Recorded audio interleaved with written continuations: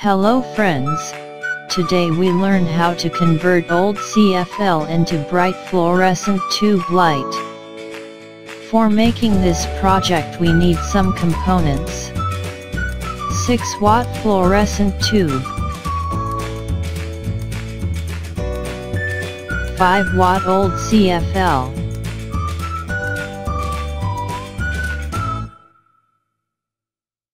Open old energy saver. First disconnect wire of energy saver tube.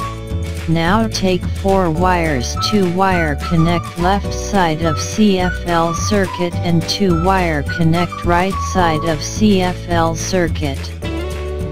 Like this.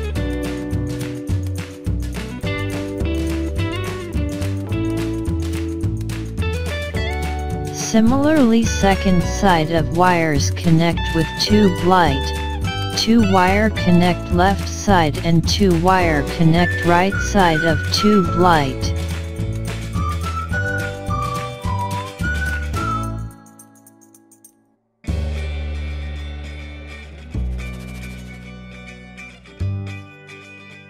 Project is ready for your test.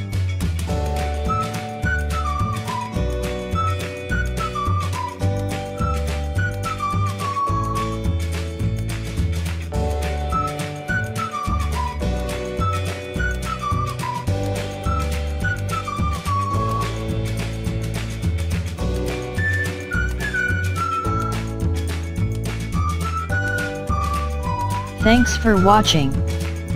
If you like our videos so please tell in comments.